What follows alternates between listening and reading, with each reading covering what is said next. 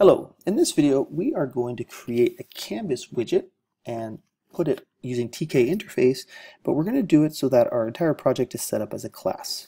Now just to do a quick reminder, we're going to actually write this from ground up. It won't take too long.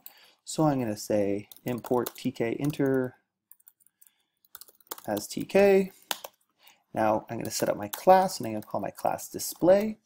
Um, good, just polite is to capitalize your classes. Um, I'm going to say def underscore under def space underscore underscore init underscore underscore self. This creates what's called the constructor. Um, so remember, a class is a blueprint to create many objects. So I can use the same chunk of code over and over again. And the constructor is the special method that is called when you first create an instance. Think of it like this. If you buy a box, a bike, and it comes in a box. The constructor is the process of you building the bike the first time. You only do it once, but you have to do it before you could use the bike. So to do this, we say, we write our code inside our constructor. I say self.root equals tk.tk. This is very similar to if we don't do this as a class, we just have to remember that all our variables must have the term self in front of it. And I'm going to say self.root.title is GUI canvas class self.root.main loop. That's going to get us going.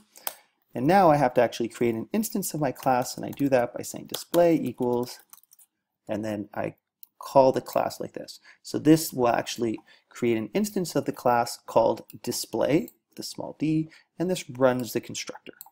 So if I've done this correctly, there it is. So I want to create my canvas widget. So how do I do that? I say self.canvas1, which is going to be the name of my widget or the name of my object.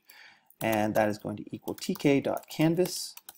And when I construct a canvas object, what I need to do is I need to specify the main window that it is part of. That's self.root. I'm going to set my width. Let's set it to, say, 300 and my height to 500 and well, then complete the brackets there. Then I say self dot canvas one dot pack.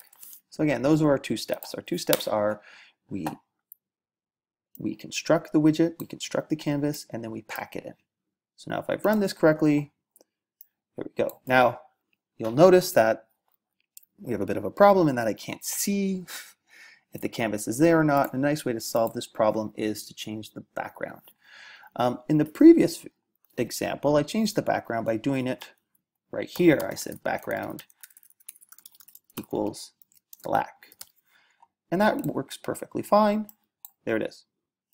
But I'll show you a different way to do this. Now, um, if for some reason I wanted to change the background of this canvas outside the constructor or somewhere else, I can use this. I can get self.canvas1 dot, and there's this nice function called configure and so configure, we're going to configure the background to black.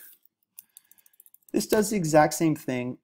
It just allows us to do it after the fact. So let's do let's do a couple other things. I'm, I'm setting the height and width of my canvas, so presumably I don't want someone to change the size of the window. So I'm going to say self.root.min size is 300 by 500 and self.root.max size is 300 by 500. And what this is doing now is taking that main window and stopping the user from being able to change those dimensions. And there we go. Hope that helped. Have a great day.